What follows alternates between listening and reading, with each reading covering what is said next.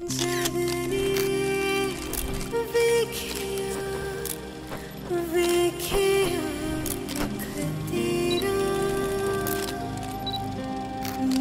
Allah bless our mothers, say Ameen.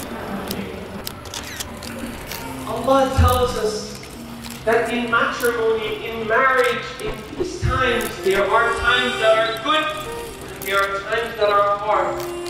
And in the times that are sacrifice.